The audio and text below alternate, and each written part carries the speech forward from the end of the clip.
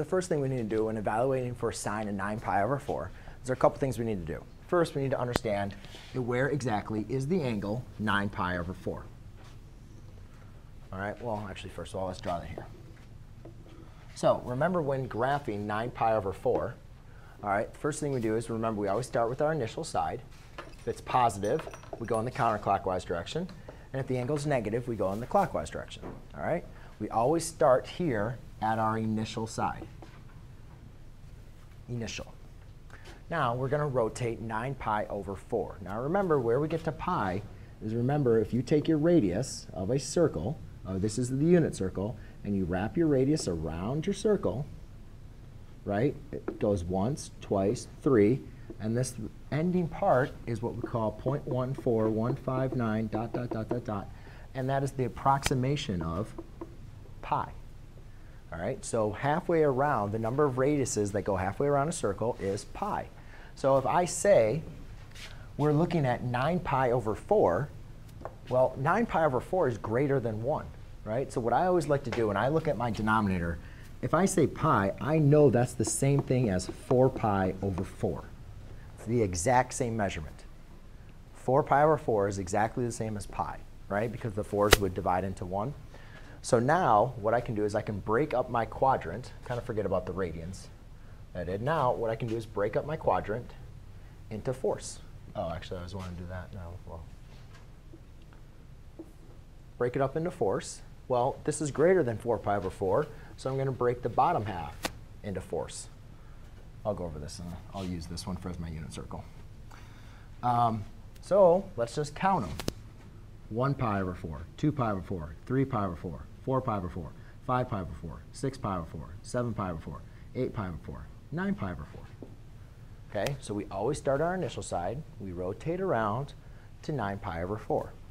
Now this is nice because our angle is now in um, the first quadrant. However, ladies and gentlemen, doing all this work we don't have to do all this rounding and rounding and rounding.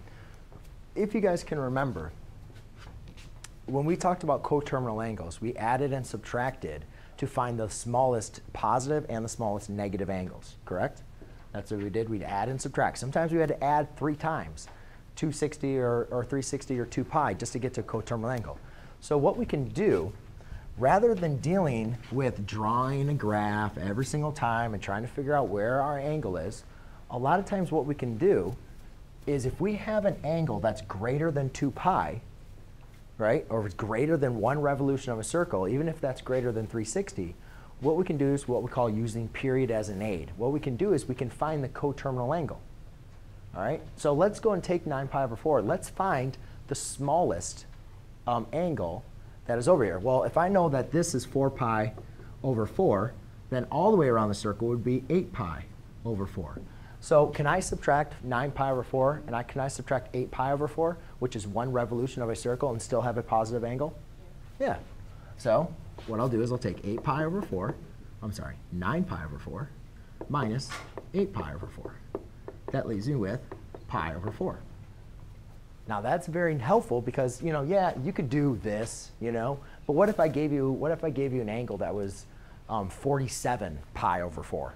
That's a lot of circles you're going to be drawing, right?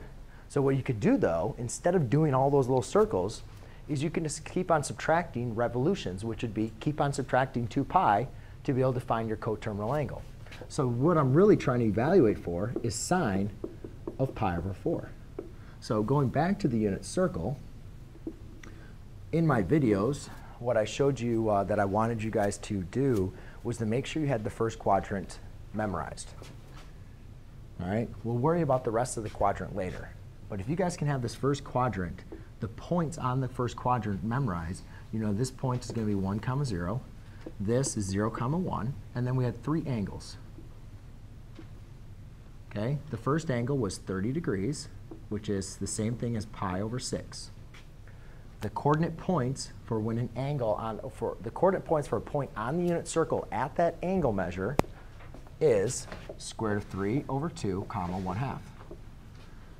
For this angle, which is 45 degrees, or which is equal to pi over 4, the coordinate point is square root of 2 over 2 comma square root of 2 over 2. All right, just to help you out, this last angle, which is 60 degrees, which is pi thirds, is 1 half comma square root of 3 over 2. Those are the those are the five points you guys need to know. All right, but that's another story. We already know sine of pi over 4. That's going to be that point right there. Now remember, the sine of an angle equals your y coordinate. So sine of pi over 4 is going to represent the y coordinate of that point. And the y coordinate of pi over 4 is? Oh. oh. The y coordinate is square. Just the one, just the y coordinate. That's all we need. Yes, question. Yes. Um, Is this only for sine? Or is it for cosine? No, it just says the value for sine. So that's why I gave you guys more of them. Yes. How'd you know that that was the conflict? Um, uh, less. Yeah. What? Oh. Because you, you it, like. oh, how did I know that point was there? Or was here? Uh, Yeah, but I didn't. Yeah, because here, from here to here is pi over 4. And if I wrap around my circle, from here to here is just pi fourths. And also, when I subtract that, I get pi fourths. So that's how I knew that was that's where it's at. Okay? Questions?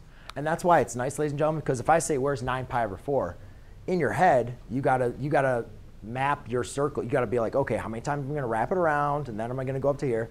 But if you just easily subtract 8 pi over 4, which is a revolution, now you found a small coterminal angle that's positive. Pi over 4, oh, first quadrant, pi over 4, oh, that's the that's 45 degrees. That's square root of 2 over 2, comma square root of 2 over 2. Memorized, right? I am not